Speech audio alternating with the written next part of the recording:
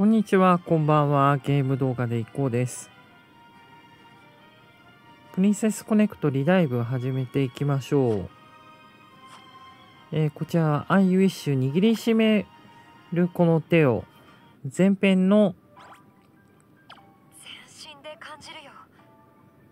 この力は、プリンセスフォームとはまるで違う。はい。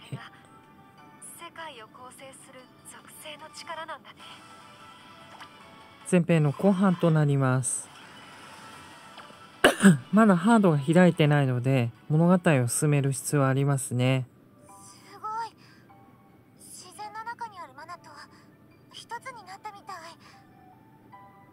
これが私たちの新しい絆なんだね。では前編第 5, 5話いきましょう。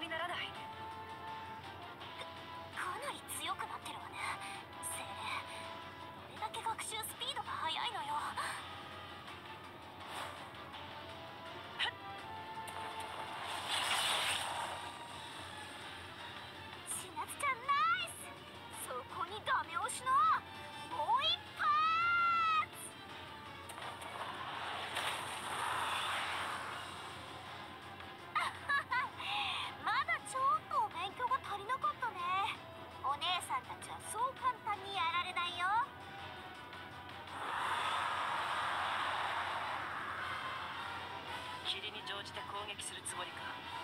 芸がないな。風よ払え。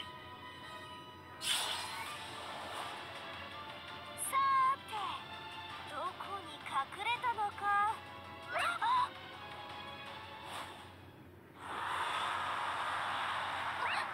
こっちに来る！また5人か。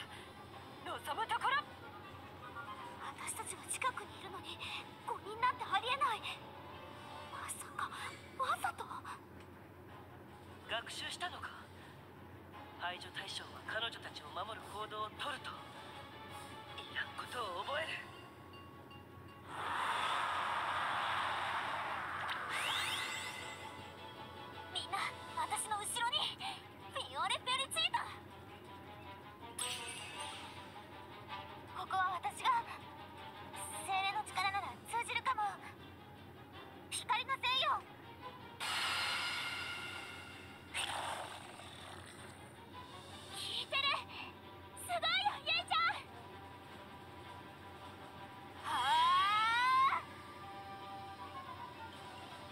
ユイの修行の成果か？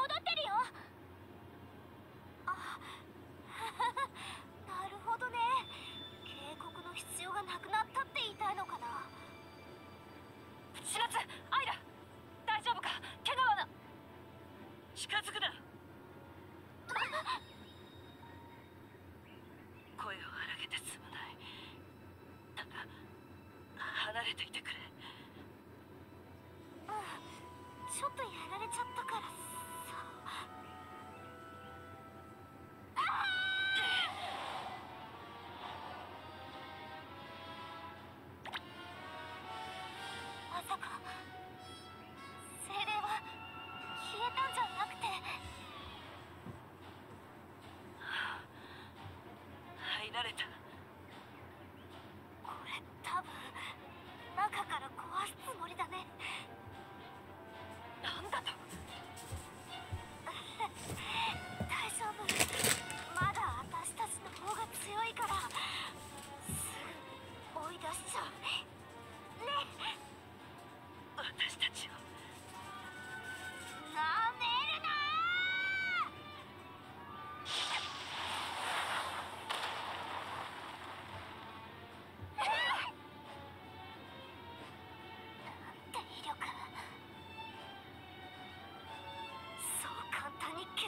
しない消えてたまるか。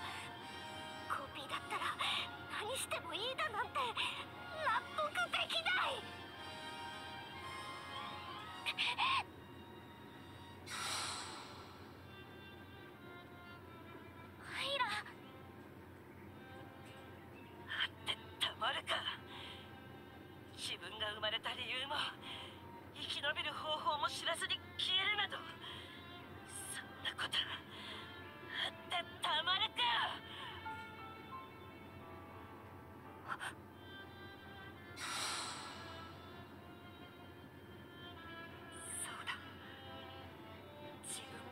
ーだと知って平然としていられるはずがない。痛みがないはずがない。そんなこと私は分かっていたはずじゃないか。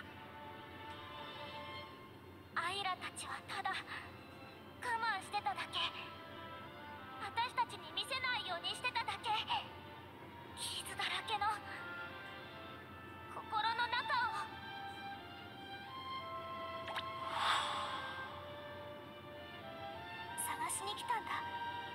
私たちの世界にいるみんなが笑顔になる方法私たちは深く関わりすぎた。自分たちの世界にね。そう。たとえ。シミュレーションのために生まれた。コピーだとしても。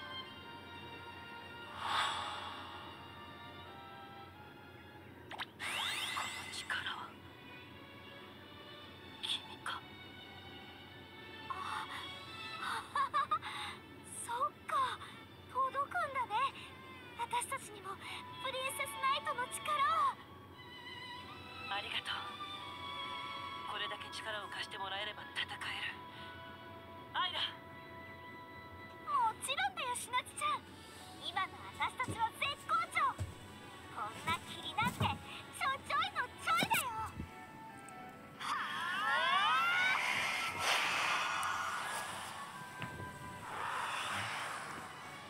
なんだ？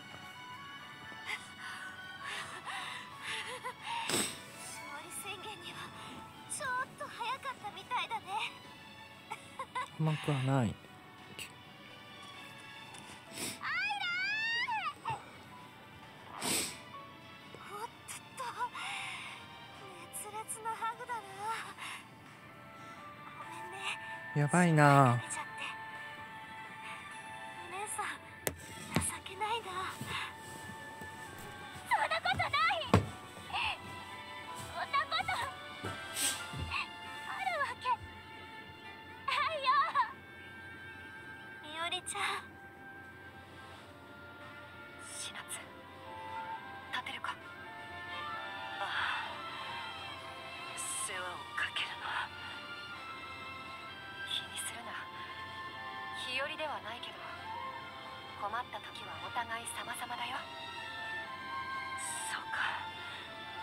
そう言ってもらえると気が楽だ。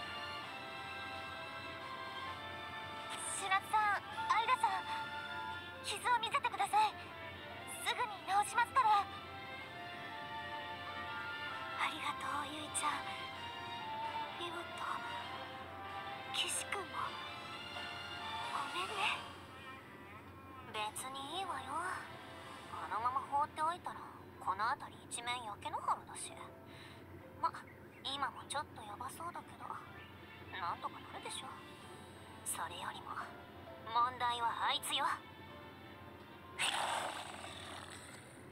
奴の役割は理解したが今はその仕事ぶりが厄介だ。まずは一度追い返そう。待って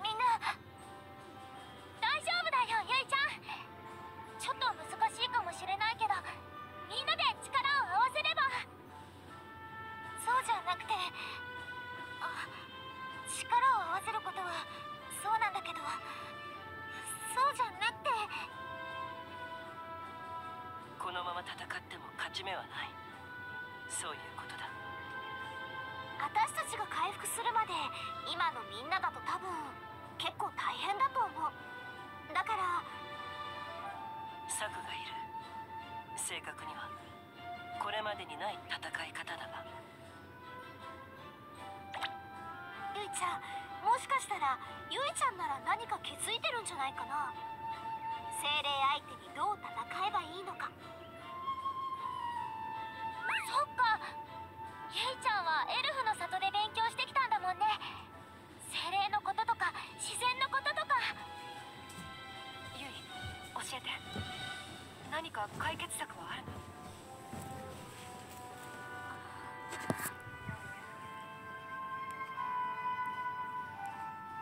思い出してお？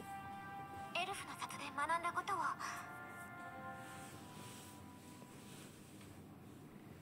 さっき光の性の力は赤い霧の精霊に通じました。だから精霊のはずなんです。その力が強大すぎるだけで精霊は自然の中に息づくものです。人間以上に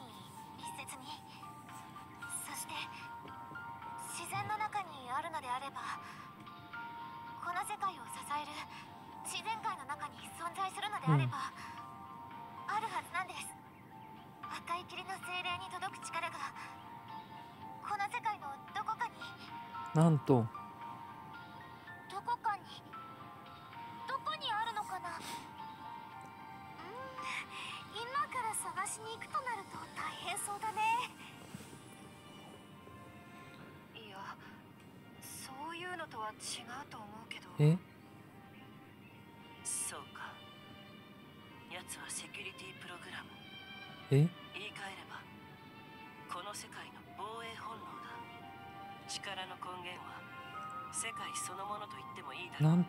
世界と戦う。と密接に関わり合っている。だからこそ精霊と名付けられた。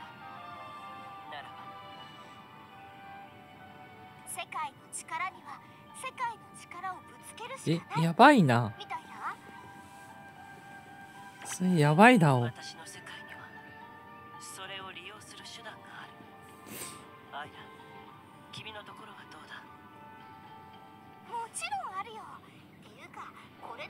だよ。そうなんだ。表に出てなくても隠し要素くらい把握してるって。管理者だったんだアイラって。ならば問題ないな。問題ないんだ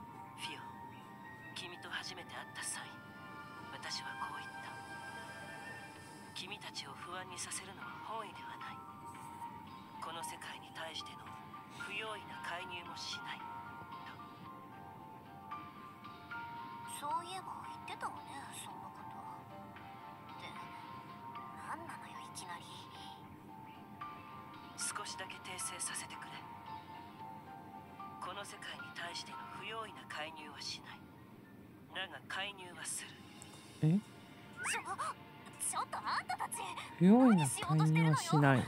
だが介入はする。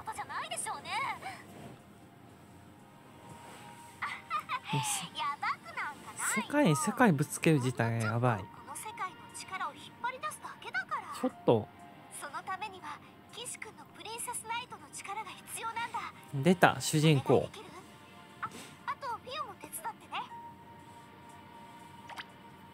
素直。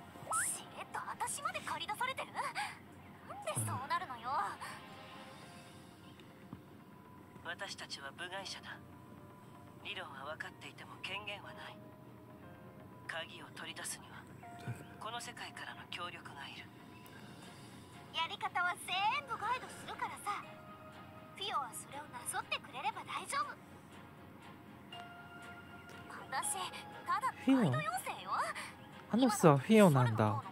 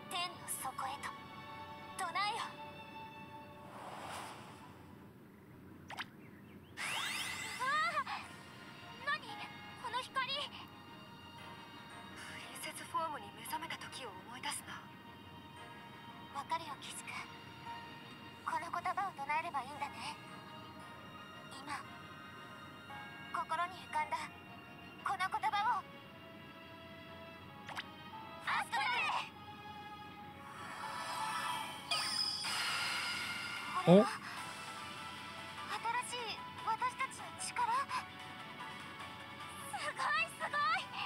プリキュア？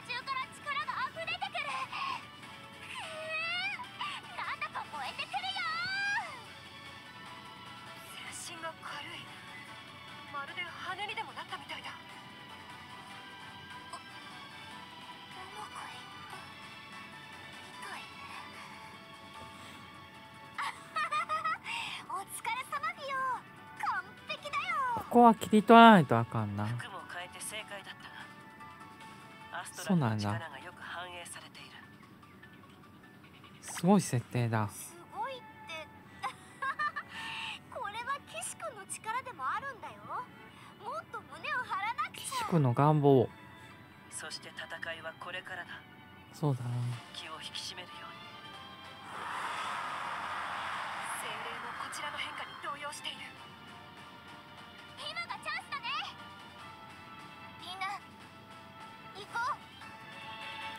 いいな。パンチパンチ。剣を振る。そして魔法。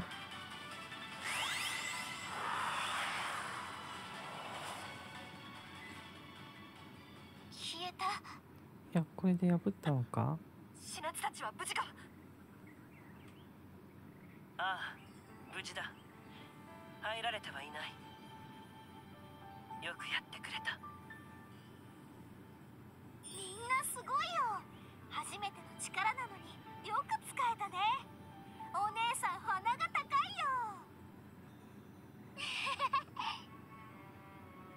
これ前編ってことは？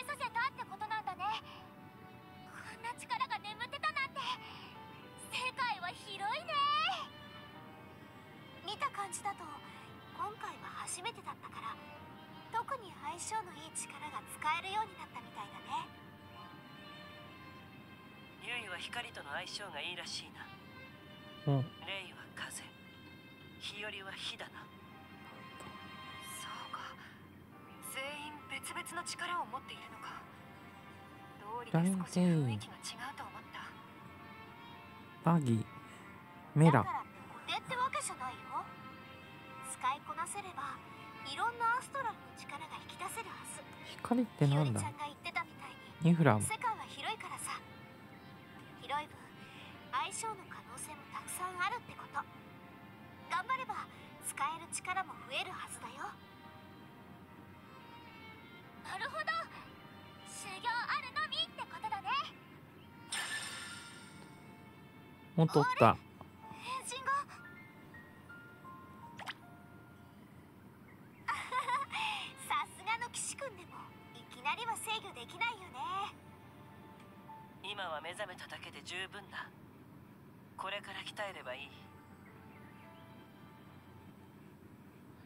ストラルを使う機会も増えるってことかな今後。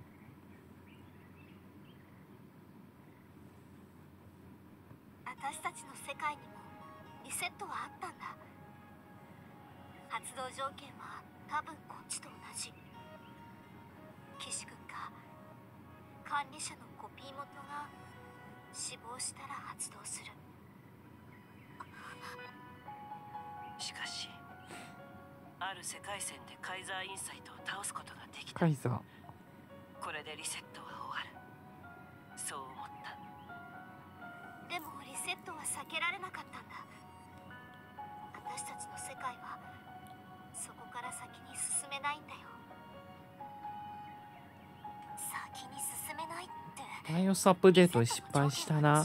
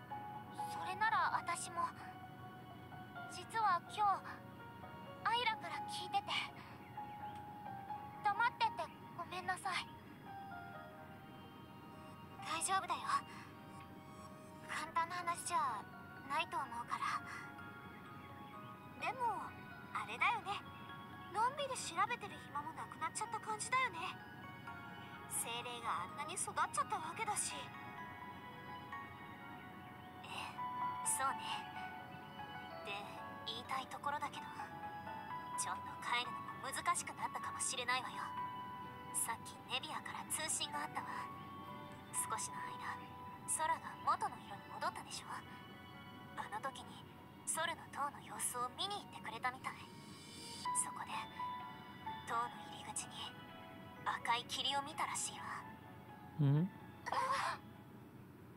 それが赤い霧の精霊そのものかどうかはわからないわ。確認してみないことにはね。いずれにしてもランドソルに向かってみるしかないか。でもソルの塔なんだよね。だったらフィオちゃんがなんかこうできないの？私ができるのは現状維持くらいよ。操作できない機能なんて山ほどあるわ。だから最悪の可能性も考えておくべきでしょうね。いやーそれはあんまり考えたくないな。まあそれまでになんとかしよっかそうだね。なんとかしよう。いや気合では乗り切れないよ。今のうちに何か方法を見つけておかないと。ソルの塔の全ての機能を使う権限を持つ者は管理者だけだ。おそらくセブンクラウンズでさえ全機能を使いこなすことはできないだろう。複数人が力を合わせれば別かもしれないが。じゃあさっきみたいに権限カッコ仮をフィオに持ってもらうのがベターかな？もちろんやってはみるけど別のレジェンド・オブ・アストルムとつなぐなんて想像もつかないわね。必要な権限が強大すぎるわ。そうなるとやっぱりこの世界のミネルヴァさんに手伝ってもらわないといけないよね？ミネルヴァはひ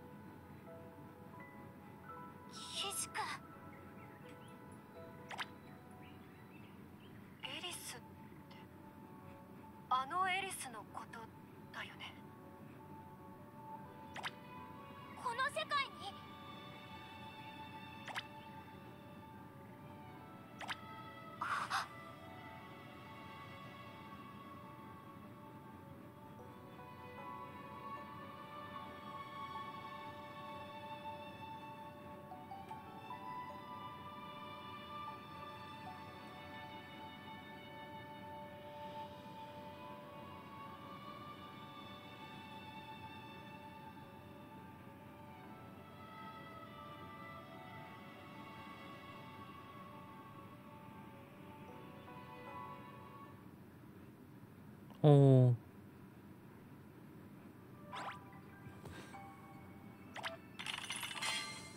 開いた。これ前編のストーリーは終了か。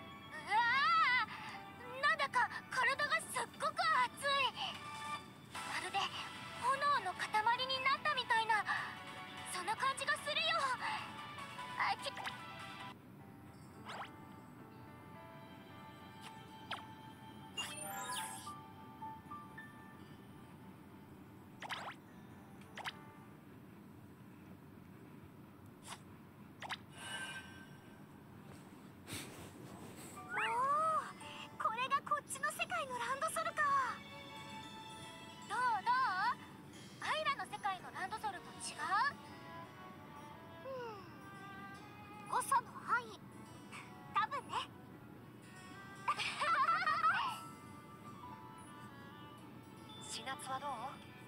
誤差の範囲かな？そうだな。よく似ている。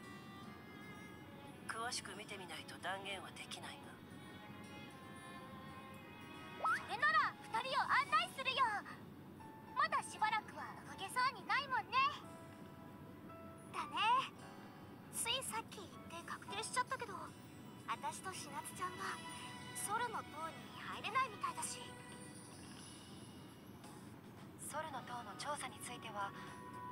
ビアに任せよう。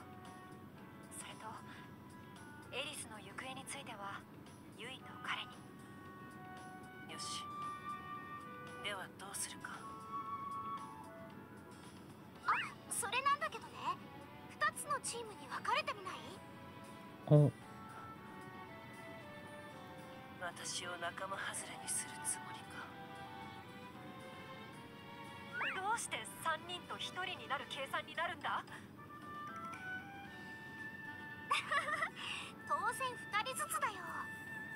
さんで？ねなつちゃんチームとひよりちゃんと私のチームのね。ほらあんまり大人数だと団体行動で気を使うし。なんやかんや積もる話もあるでしょ。お互いにさ。お互いに。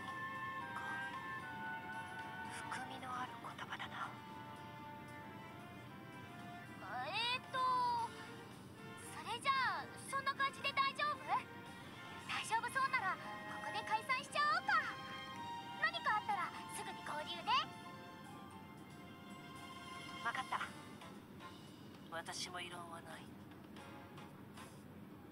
じゃあ決定ね。レイちゃんシナツちゃん。良いランドソル観光を。良いランドソル観光を。ああ。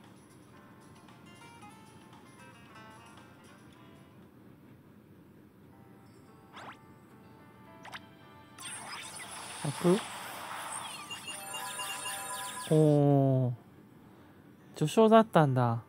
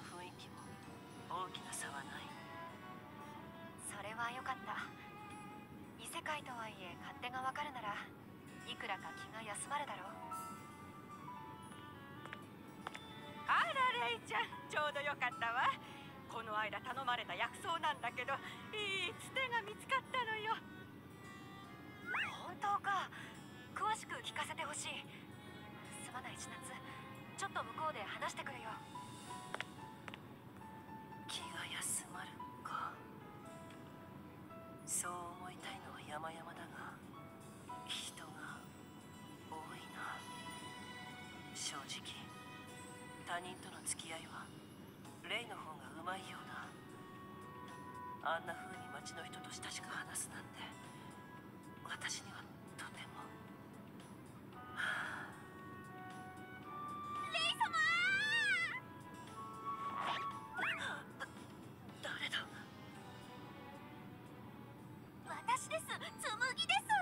仙霊様に会えるなんてなんて幸せな日なんでしょういや待ってくれすまないどこがなんだ、ま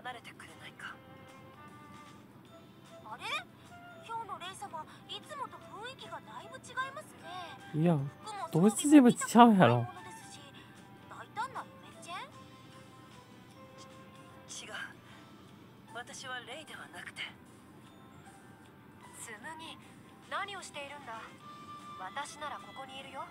然違うだろう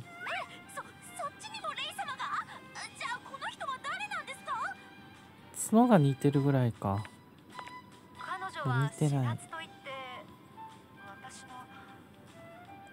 い親戚なんですか角がに来るぐらいか彼女は似てな親戚か。レイ様のご親戚？遠い親戚ね。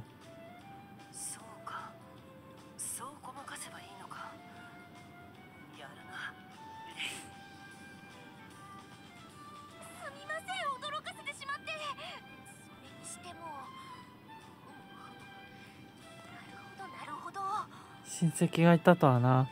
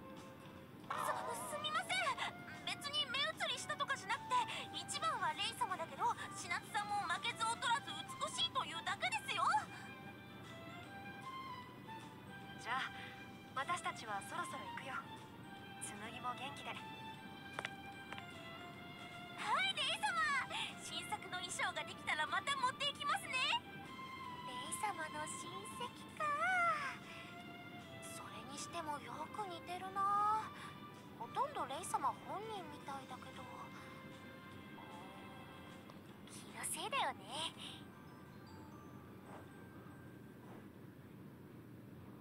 彼女が紬か。まさかあれほどまでに推しが強いとは。推しが強い。彼女とは初対面なのか？シナツの世界にも紬はいるのかと思ったけどいるにはいる。だが直接会ったことはなかったんだ。ソルの塔から出る機会は限られていたからな。そうなのか。まあ見ての通り彼女はいつもあんな調子だよ。私は本当に人と話すのが得意じゃないんだ。向こうからグイグイ来るような相手だと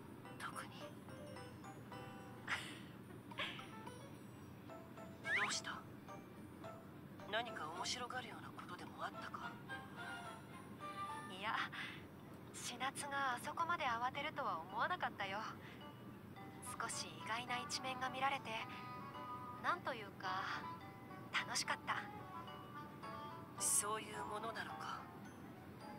やはり人付き合いはよくわからないな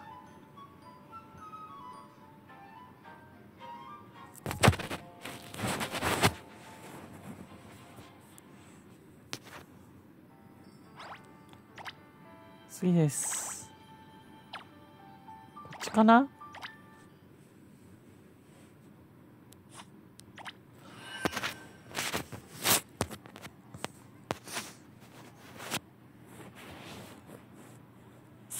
お大悟だ。この辺も思ったより落ち着いてやがるね。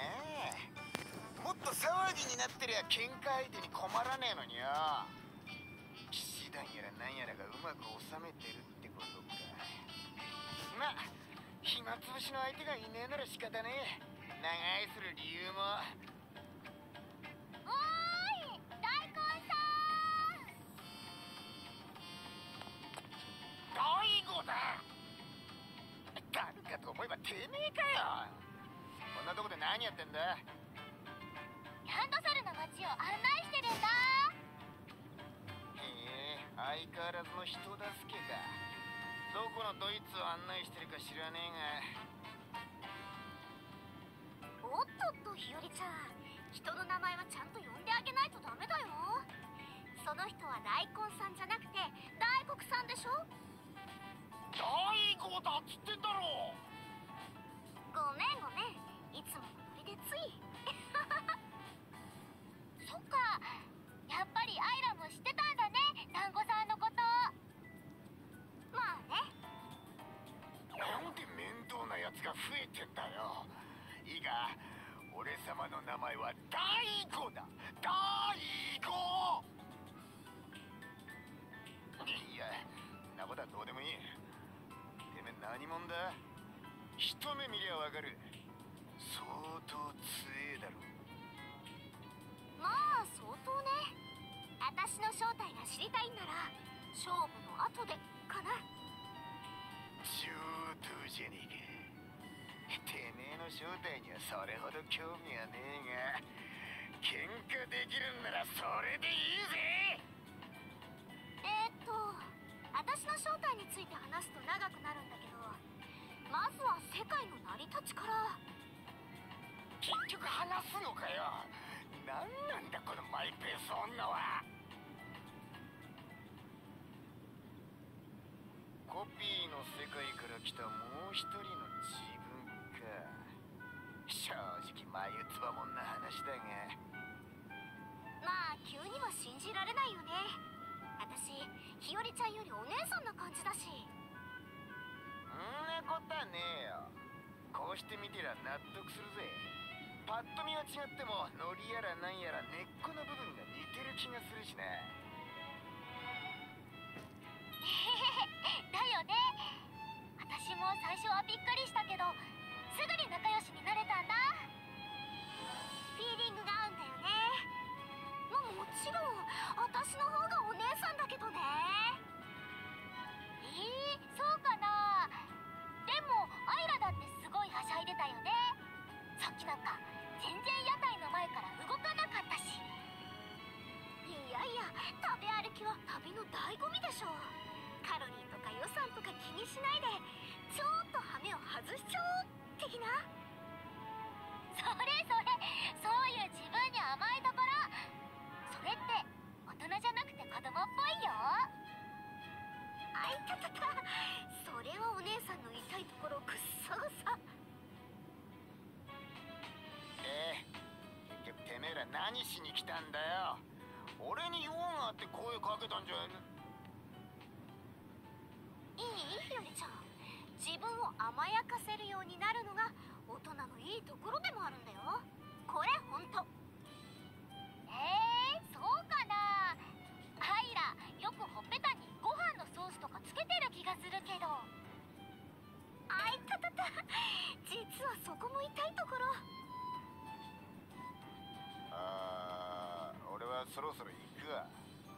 二人とも仲良くな。ちょっと待てよ大悟さん。期待後だハモってんじゃねえよてめえら。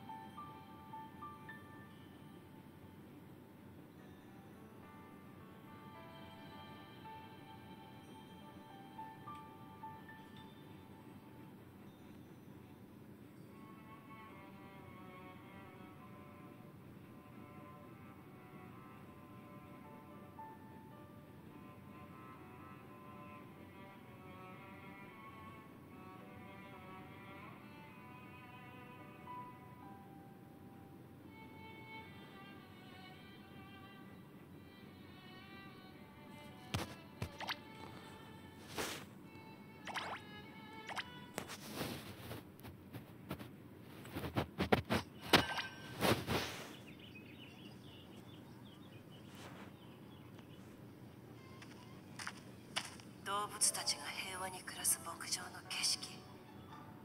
悪くないな。人の多い街中はあまり落ち着かないし。ここで少し休憩させてもらおう。はあマンヒーったら適材適所を真面目に考えてほしいよ。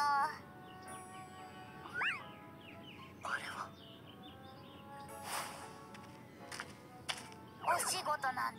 やりたい人がやればみんなハッピーだろうにな。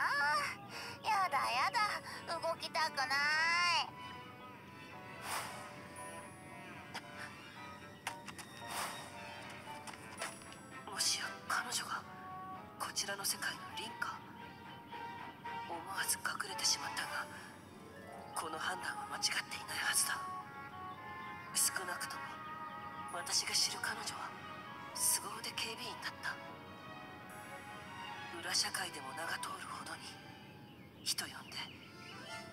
のどんぐりレンジャー。牧場に害をなそうとして彼女に捕らえられた悪党は数知れず。その監視の目から逃れられる者はいない。この世界での私は身元不詳の不審者に過ぎない。そして私一人では会話の糸口すらつかめない。目をつけられると厄介だ。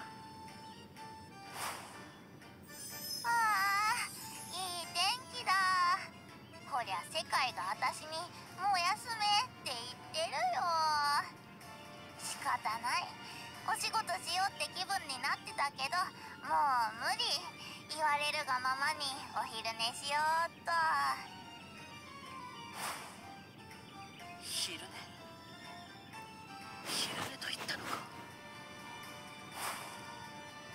おーい。日差しがポカポカ気持ちいいおやすみ。本当に寝ているのか？あの伝説のレンジャーが。さあ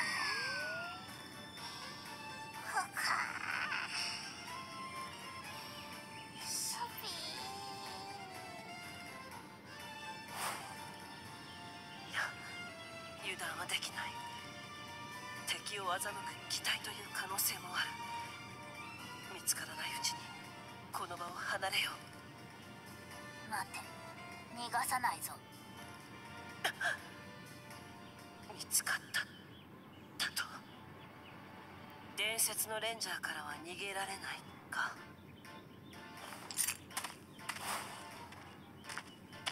気配を断つ術は得得していたつもりだったが見事なものだな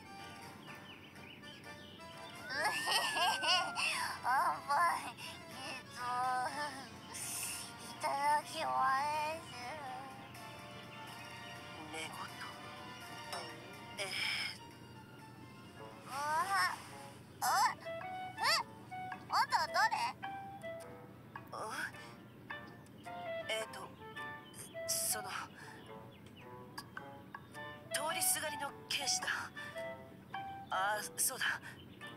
の親戚だ？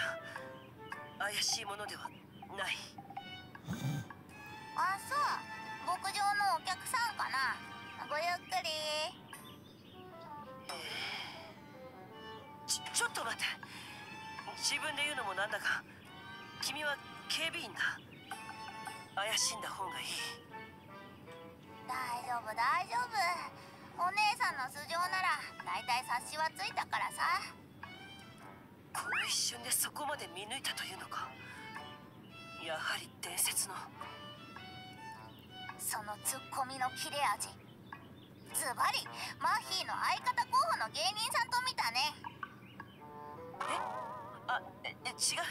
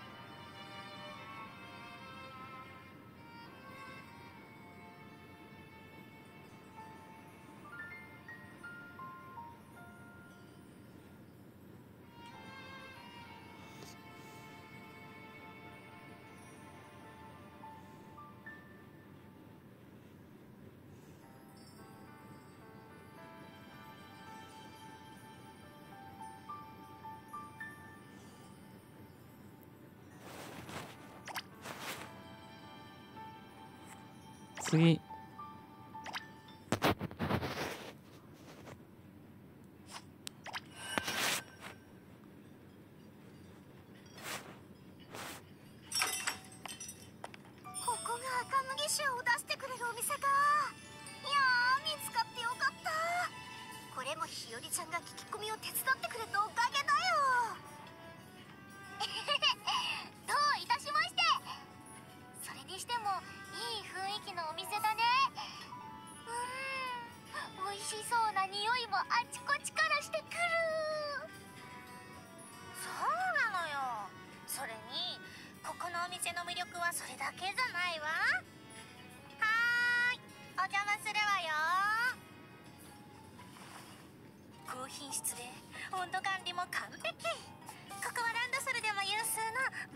ーが美味しいお店なのよ。いきなり誰？ゆかりさん。今日もお昼から飲んでるんだね。今日はね非番なの。非番っていうのはお休みの日ででもね私には美味しい麦茶をいただくっていう大事なお仕事があって。仕事？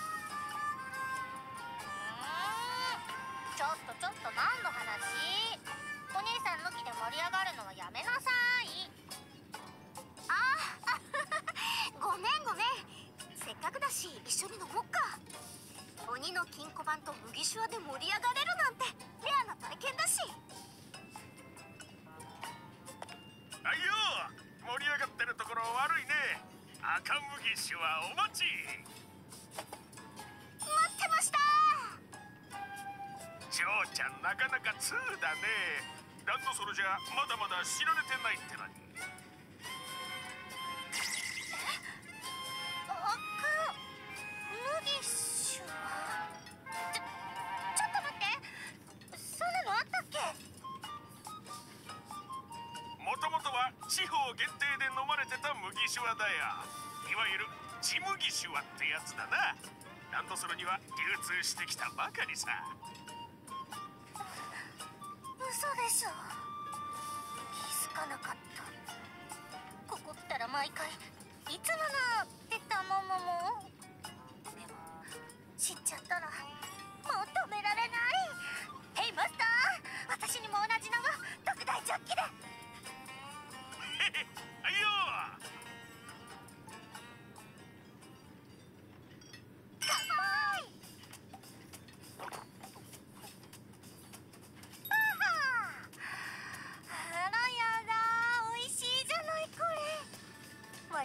が強めでなのにくどくない。むしろいい喉越しだけじゃない。確かな後味。感じるわ。大地の恵みを。でしょでしょ。最初はちょっと癖が強いかなと思うんだけどね。飲んでいくとやみつきになっちゃうんだよね。なあダメ。これはおつまみも止められないわ。ちゃんちゃん注文しましょう。ちゃんも遠慮しないで好きなもの頼みなさい。そうそう日和ちゃんは何食べる？お肉？あ魚も美味しそう。店員さん追加注文。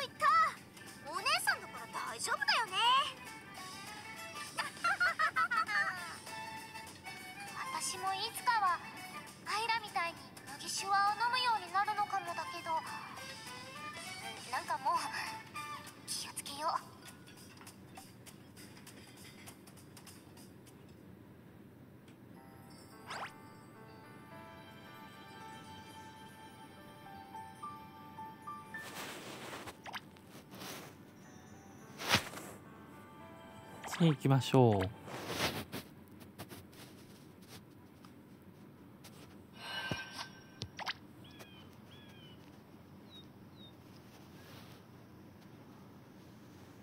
余計な力はいらない。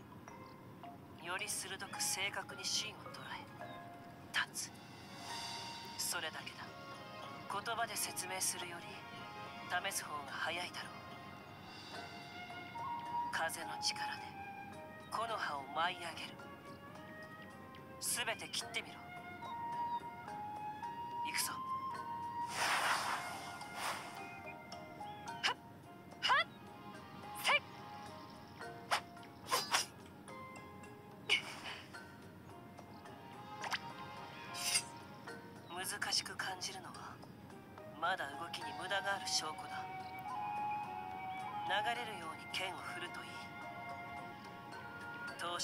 風に乗せるようなイメージで。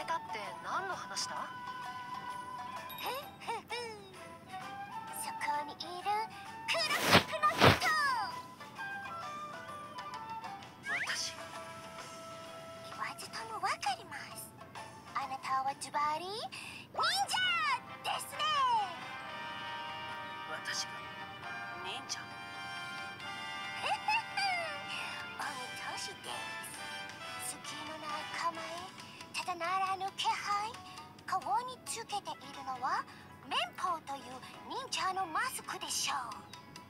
そして何より風を操る技を使ってました。まさしく忍法。布団の術。ま待ってくれ。私は忍者ではない。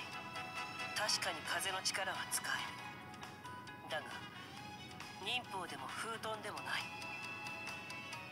おっと失礼。忍者は正体を隠すものでした。野暮なことはお許しになって。わかってます。諸君といえば忍者を従えるもの。彼女も諸君の家来の一人なんですね。つまり諸君の切り札奥の手懐刀私も忍法のことをばらしたりしませんので心配ご無用そうか。彼女がこの世界のニノンか。東国への愛があんな形になっているんだな。向こうのニノンは違うのか？ああ。彼女は俳句マスターだ。ランドソルだけではなく世界中を旅して回っている。そして各地の絶景を目の前に俳句を読む。そうして生み出した数々の名句は世界中の人々に高く評価されていた。多くの人が彼女に影響されて俳句がランドソルでもブームになっていたほどだ。私も例外ではない。四月も？それは当な影響力だね。しかしこのままでは修行どころではないな。ニノ君が私を忍者だと言うならその目でもう一度見極めてみるといい。マム？それは私への挑戦？果たし状ですか？いいでしょう。受けて立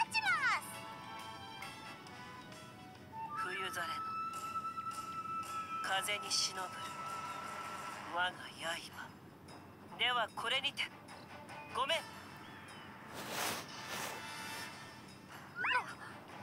目の前が真っ白に。何？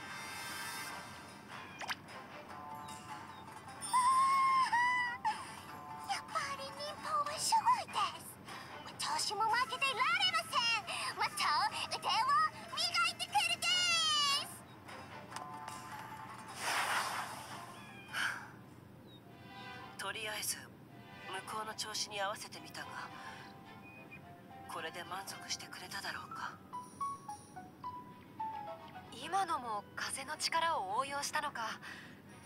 そんなこともできるとは確かに。まるで忍法だな。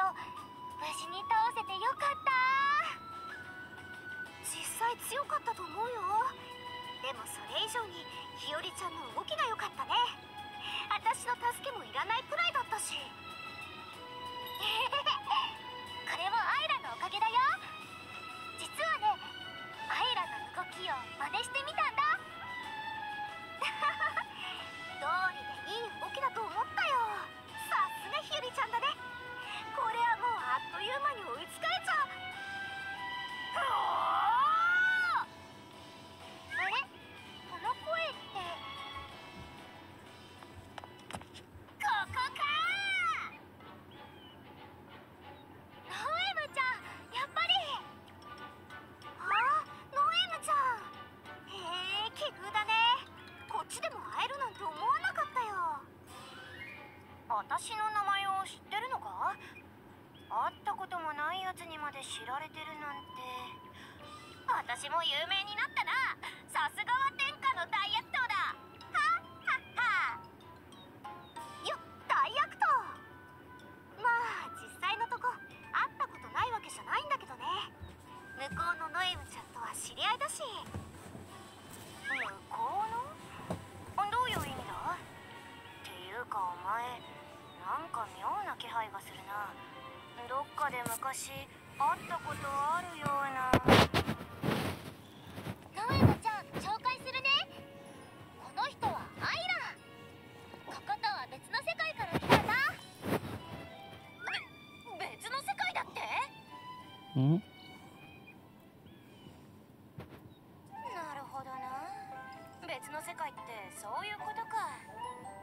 私は聞いたことないけど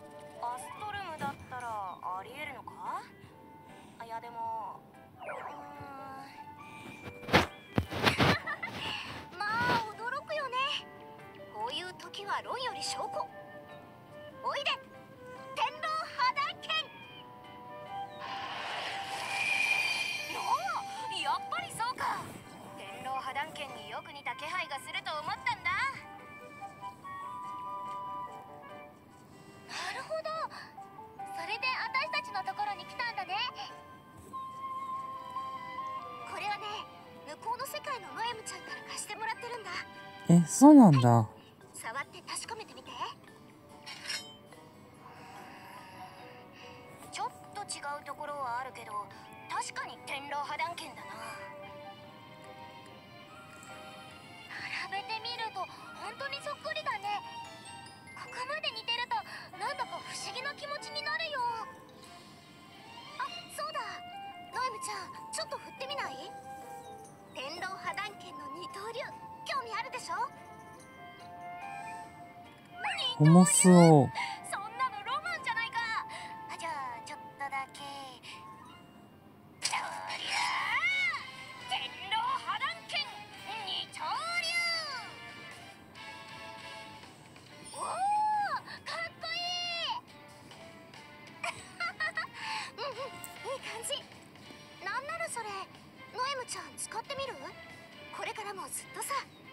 え？いいの？何言ってるの？この天狼波団剣ってアイラの世界のノエムちゃんのものなんでしょ？うん。いやいい見た目は確かに似てるけどなんかしっくりこない。この天狼波団剣は私のじゃないな。というわけだ。お前から向こうの世界の私に返してやってくれ。完全に違うものだなんか違うんだよな。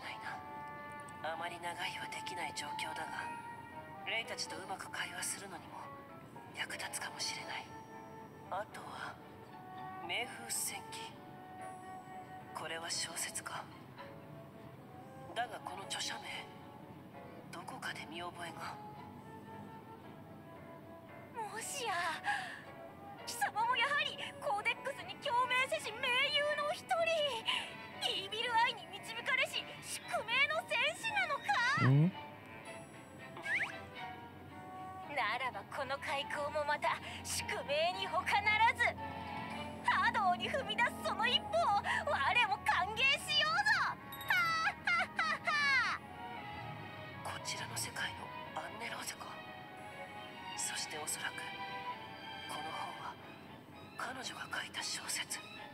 なるほど。自分が書いた小説に興味を持っていそうな人間がいて思わず声をかけた。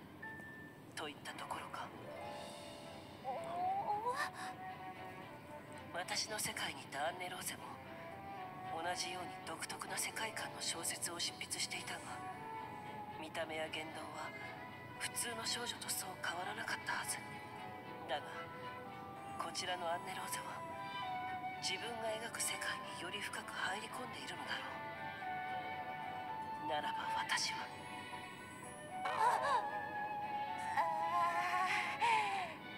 すまない。驚かせてしまったな。気にせず買い物を続けるといい。なるほど。この開口は偶然ではなく必然。ということか私の風とお前の風。重なることは創世の時より定められし運命に他ならぬ。とこんな感じでよかっただろうか。向こうの世界にあったアンネローゼの小説も同じような文体だったはず。声をかけられた以上無視はできない。私なりに礼を尽くしたつもりだが間違っていたか やはり我がイービルアイに狂いはなかった。果てなき闘争に身を投じる覚悟があるならば貴様を迎えよう。この疾風のヘカーテの果てなき闘争の輪廻へと。正解か。よかった。貴様の瞳にも私と同じ意志が宿ってい波動を阻むいかなる敵をも打ち滅ぼさんとする魔王の意志だ。この世界において明らかに異質な貴様の力。それを体現するかのような漆黒の装束。溢れ出す魔力の波動を隠すことなどできはしない。もしや服のことを言っているのか。確かに彼女のファッションと通じるものがあるのかもしれないな。私という存在は闇より出て闇へと帰る。私の姿もまたその闇をかたどっているに過ぎない。ん？それだけだ。冥府の深淵より生まれし闇の剣士よ。とそなたの名を死なずそれが限界に権限せし身に与えられたかりそめの名だ。この喋り方意外と話しやすいな言葉選びが難しい分言葉を発する前に考える必要がある。この呼吸が口下手な私にはちょうどいいのかもしれない。死なず貴様にはより深き闇の深淵を見せてやろう具体的には我が手により紡がれしサーガをその起源より余すところなくこの声はああシグルド紹介しよう我が新たな盟友シナツをなんだシナツ少し離れていた間にもう友達が増えたのか？意外な相手にも感じるが。いいな。これは遥か古の時より定められし運命の開口。そして我らの絆は魂の共鳴とでも言うべき深きつながりで。え？シナツいきなりどうしたんだ？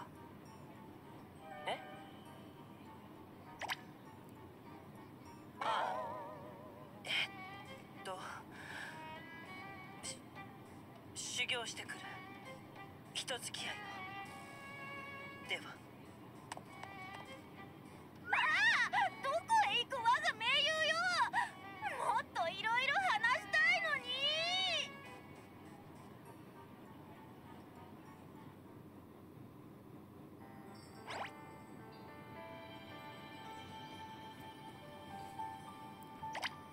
れがアナアナザーウィッシュログララストですね。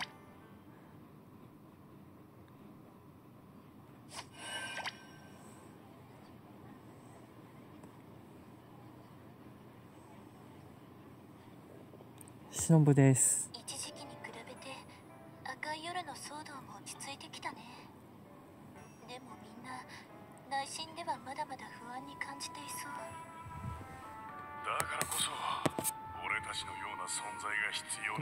なん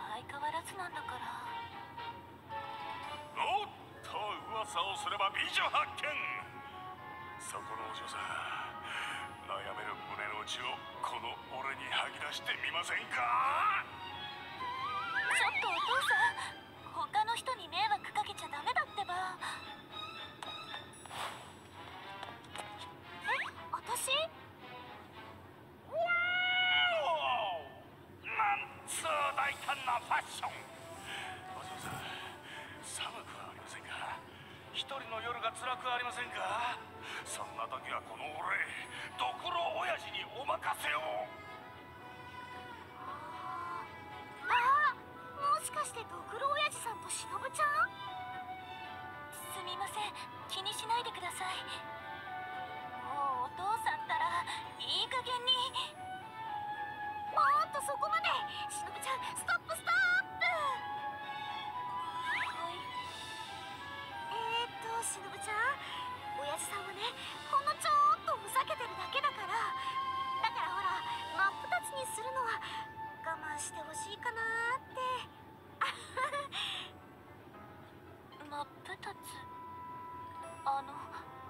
たは一体私たちのことをご存知なんですか？ああれ？親父さんにひどいことをするんじゃ。あこれもしかして私の世界とは性格が違ってるパターン？ちょうど日和ちゃんがいない時に限ってこんなことに、うん、一人だと説明するのが難しそうだな。とりあえずごまかそう。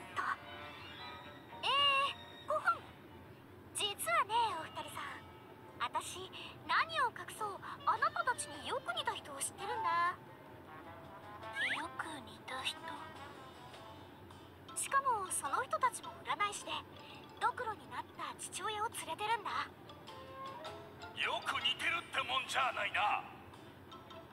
もしかしてさっき言っていた真っ二つにするというのはそうその人たちのこと。そのドクロさんもねよーく女の人にちょっかいを出してるんだ。娘さんの方はそういうちょっかいが大嫌いみたいでさ絶対に許さないって。きついお仕置きを毎回毎回。真っ二つにしたり火で炙ったりヤスリをかけたり。その度にちゃんと直してはもらえるんだけど見てるこっちまで痛くなるくらいなんだよ。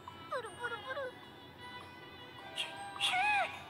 お父さん想像するだけで奥歯がカタカタなっちゃう。私もお仕置きはしますけどそこまでやろうとは思いませんね。一応は肉親ですし一応は。一応が2回も？ならよかったよ。私に声かけたせいで親父さんが「助けて助けて」しか言えなくなったりしたらさすがに寝覚めが悪いからね。やだ怖い。そんな世界線になったらお父さん泣いちゃう。でもまああんまり忍ちゃんを困らせちゃったらそれに近いことにはなっちゃうかもね。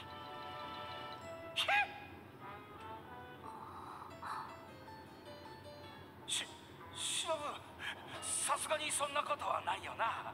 一応肉親だしな。一応な。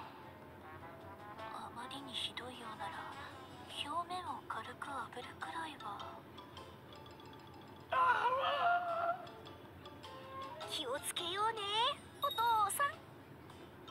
ははい気をつけます。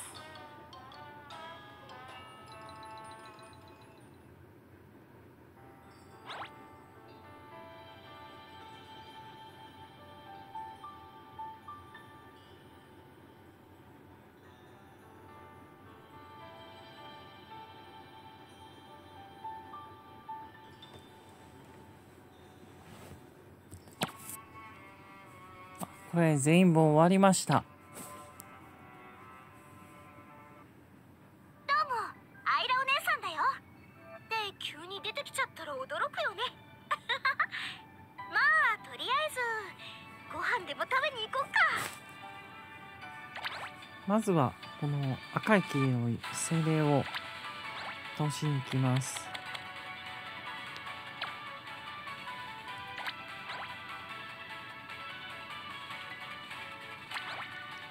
一応数が多いけどレベルが低いやつ。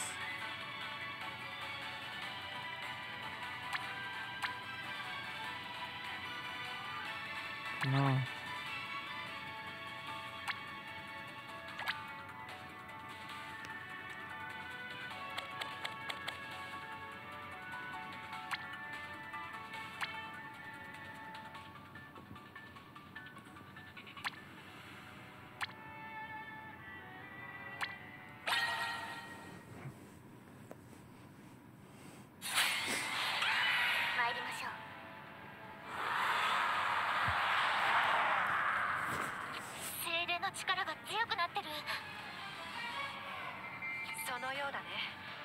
でも力を得たのはこちらも同じだ。ハイラシナツさん。ここは私たちに任せて。えいいの？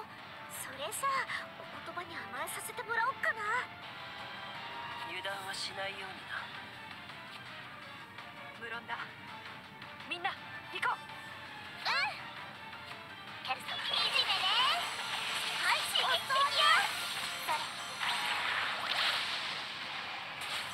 大丈夫。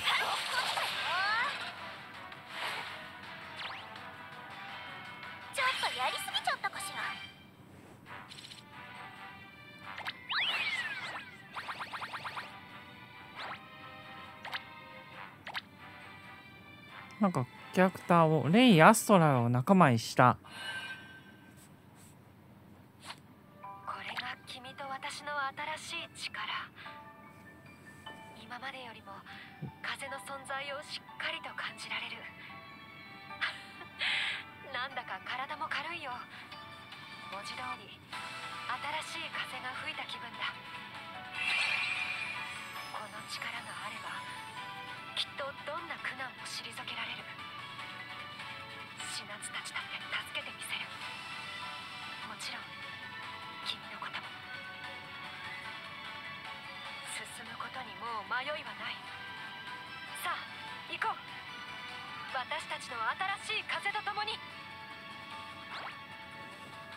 方です。あ、星1か。わしよりもいる。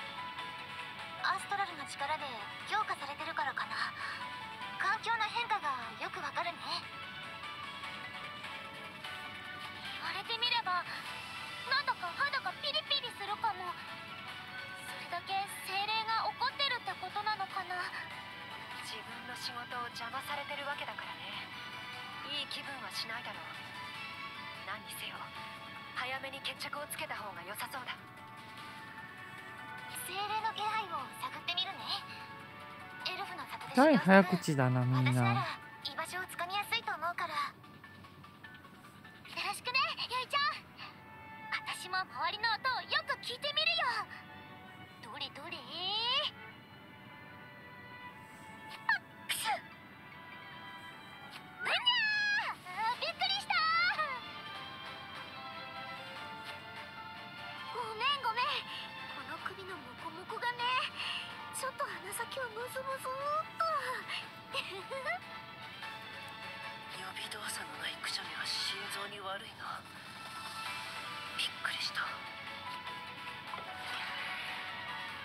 カードモード。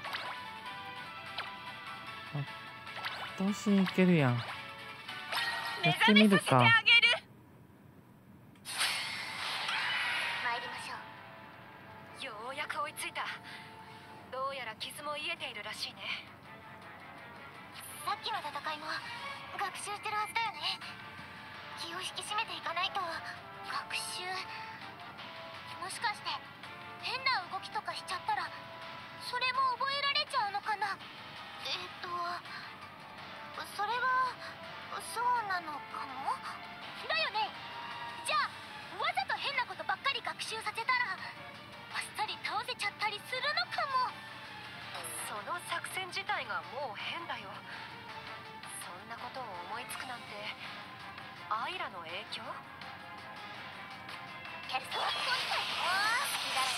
けいけん。う、時間かかるな。石た。結構。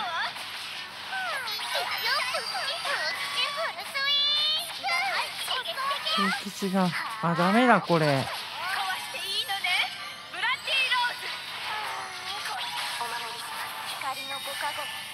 回復できないかな。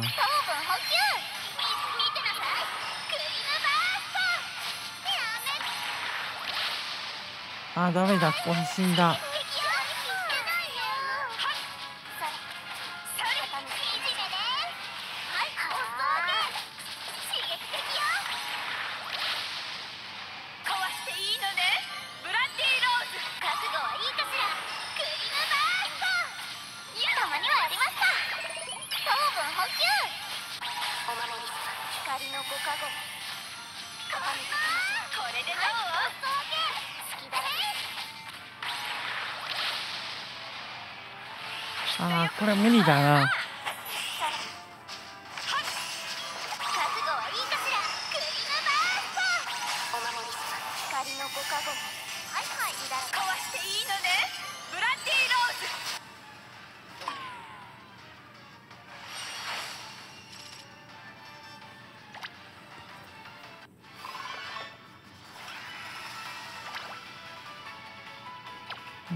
ダメだ。ボスチケットが。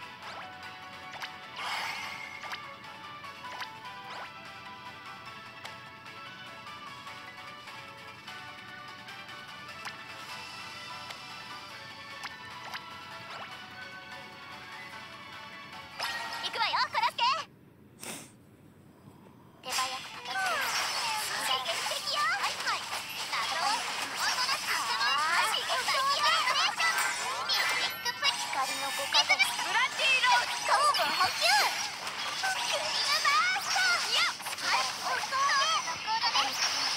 おい光のご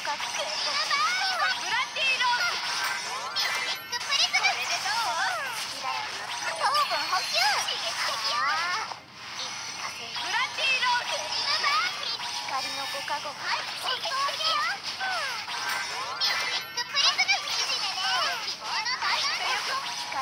確保糖分補給。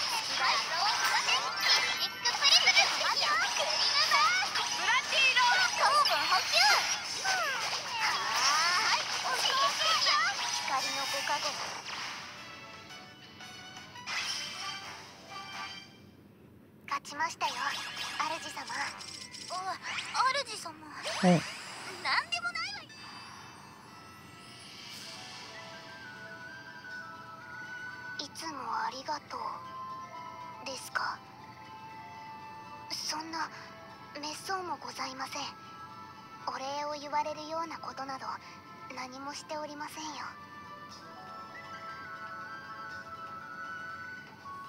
ガイド役がお世話をするのは当然のこと。むしろ私のようなものをそばに置いていただいてお礼を言うのは私の方でございます。ツアレベル4到達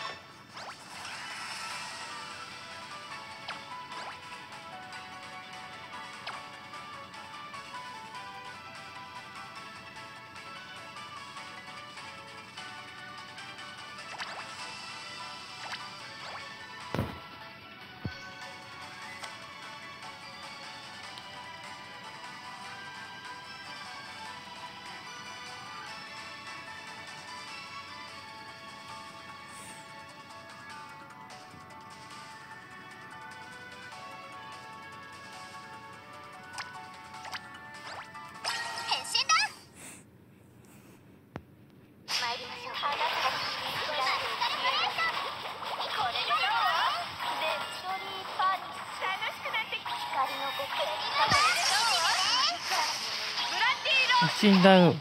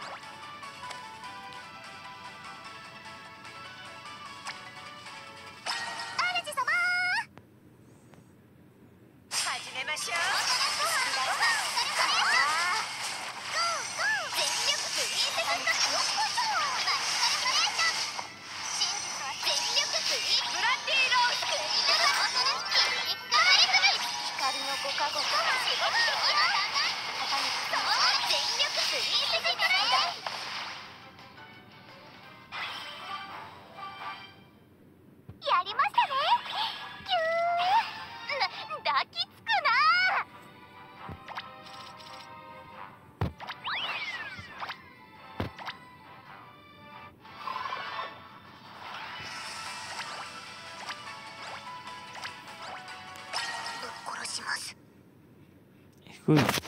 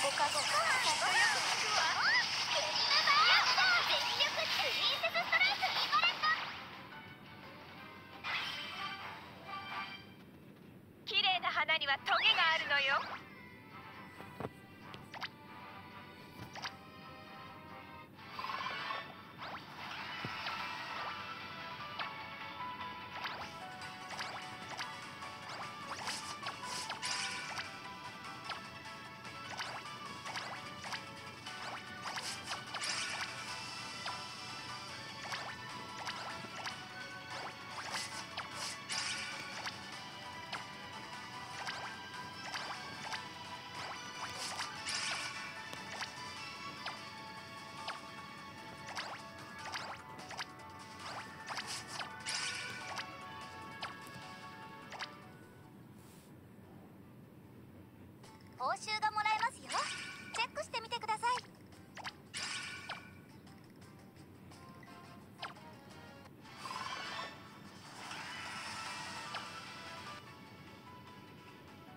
これでどうだ？139になった。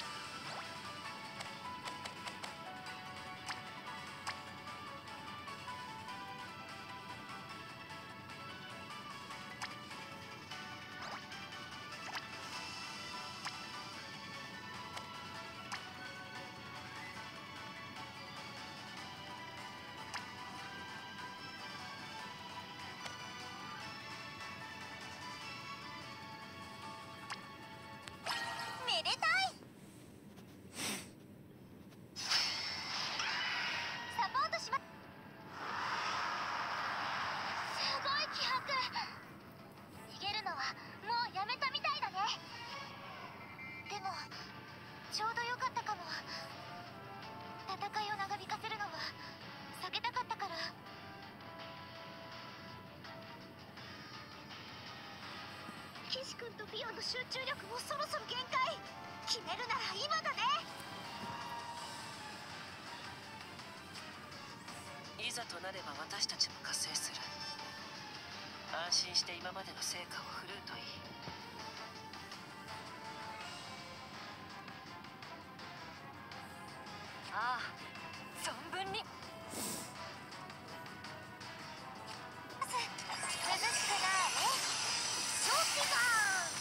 あんまりダメージ与えられてない。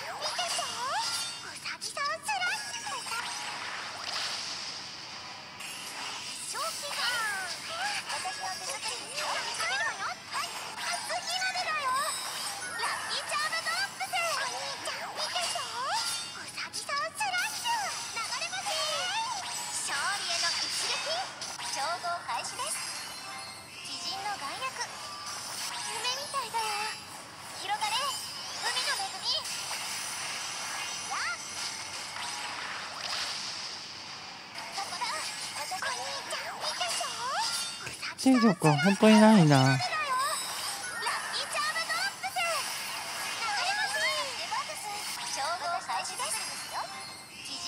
ミラーがちょっと多すぎるな。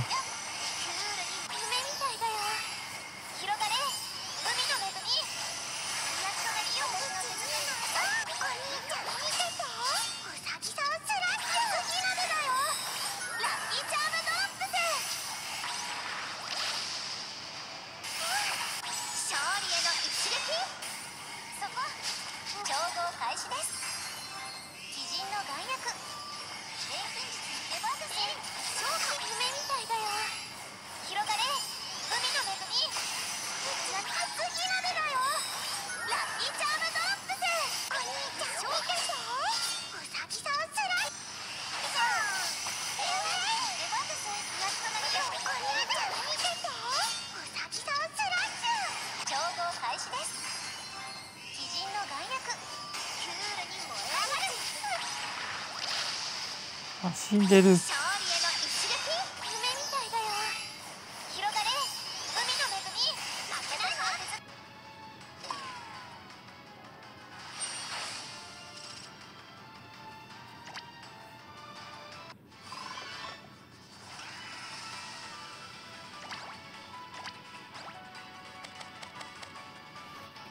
甘くはないな。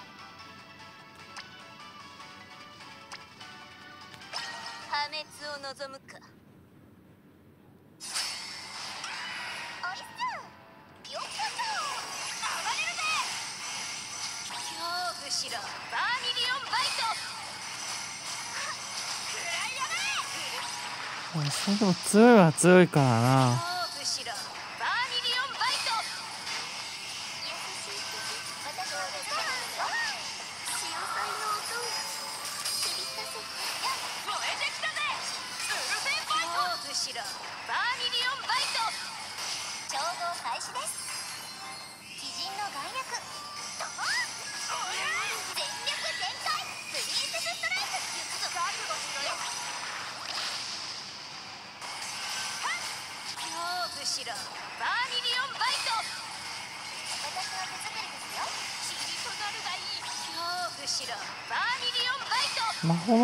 くんかな。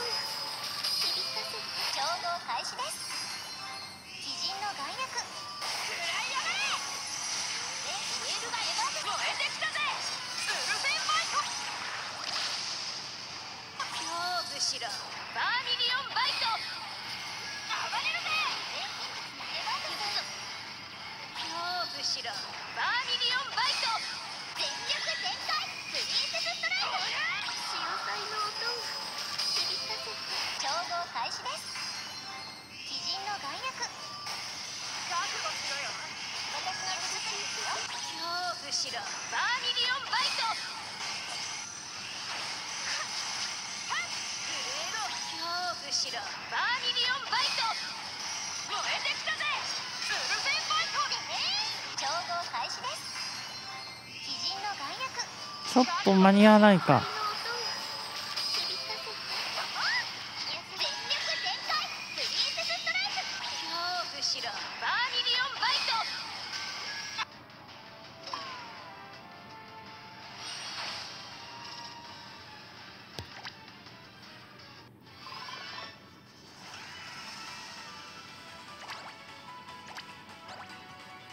出発です。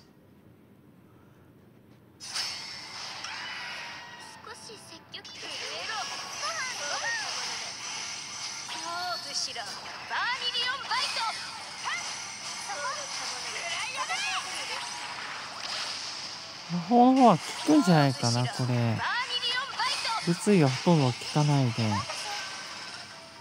倒した。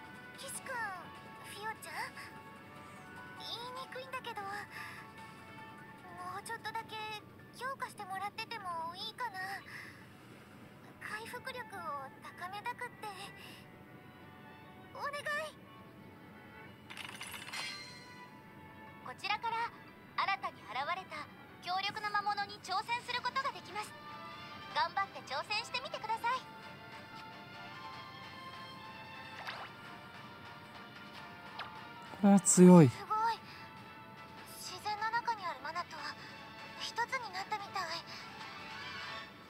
これが。これは無理です。多分無理。受け取ることができる報酬があるようです。確認してみてください。ただ倒したら倒したらすごいけどな。でもコスパ悪い。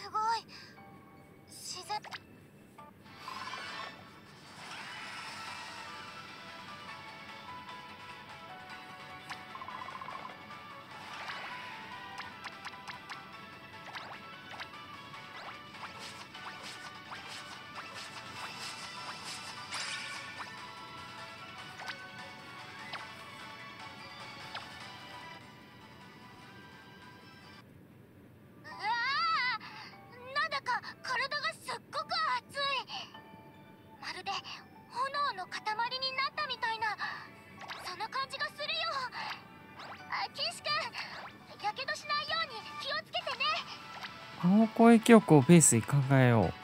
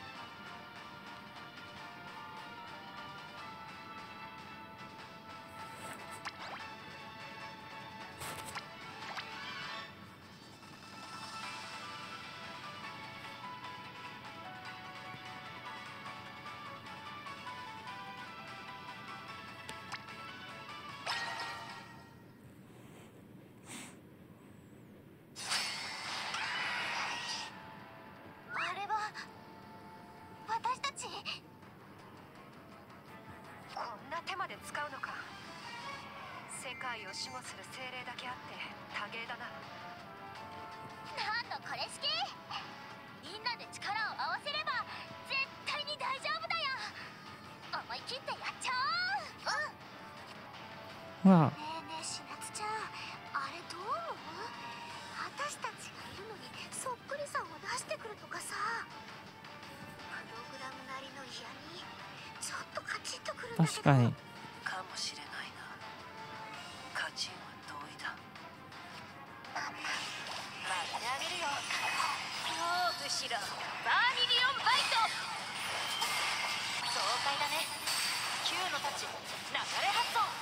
全然ダメージ与えないっていうかまず全員を倒さないとダメなのか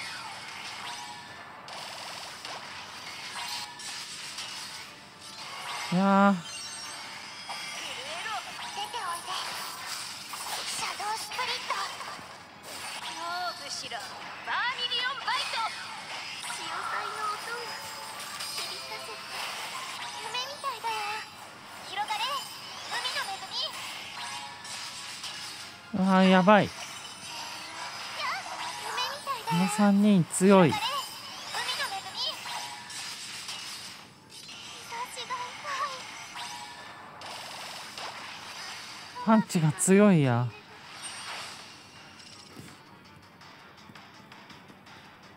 しかも3人のゲージも全然減ってないし。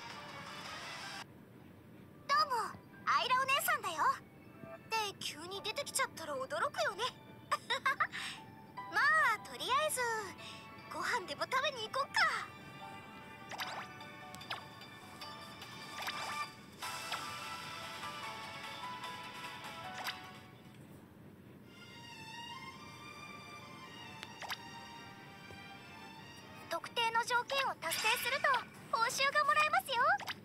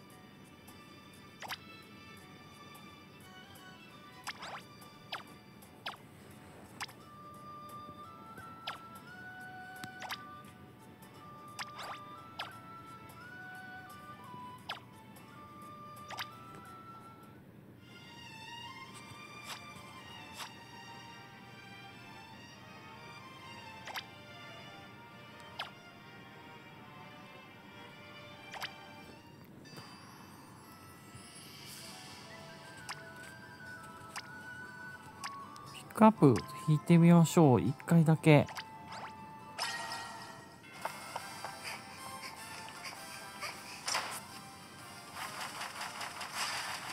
ああダメだ。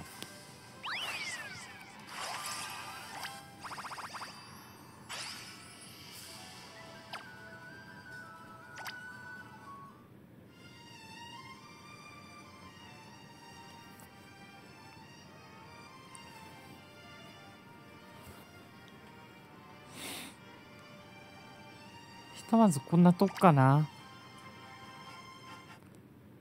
死夏だ。他に言うこと。名乗る。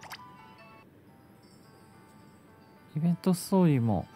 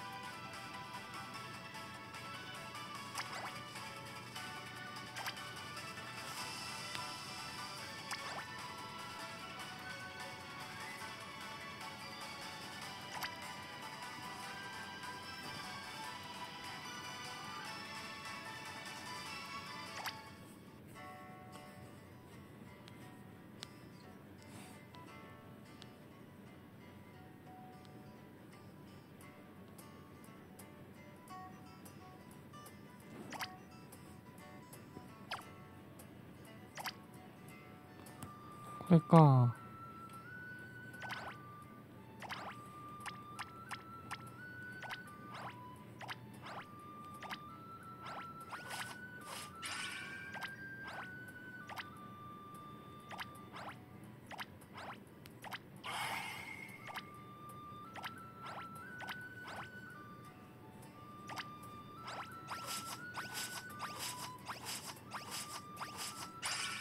あもう一個足りない。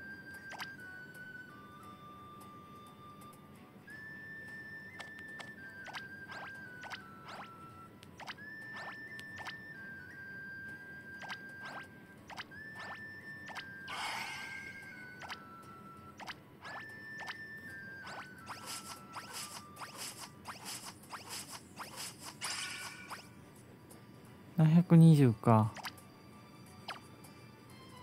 これで才能開花できる。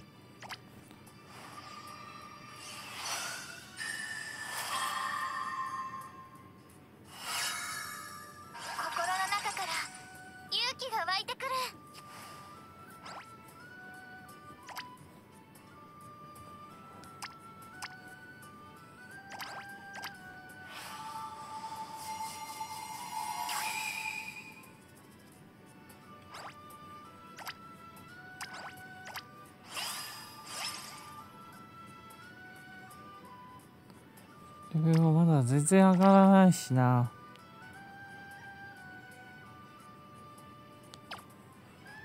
まあしか仕方なしか。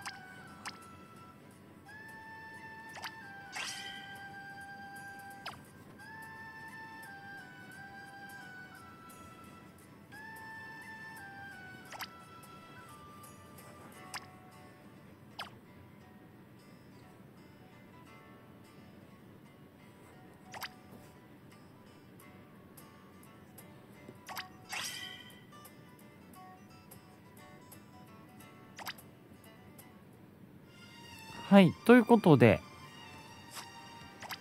こうアイリウィッシュ握りしめるこの手を。自然の中にあるマナと一つになったみたい。これが私たちの新しい絆なんだね。えー前半を終了いたしました。半はいずれあの解放されたらやりたいと思いますので、えーその時をお楽しみに。よろしければチャンネル登録、高評価お願いいたします。旧 Twitter である X のフォローもぜひお願いいたします。ご視聴いただきありがとうございました。ゲーム動画でいこうでした。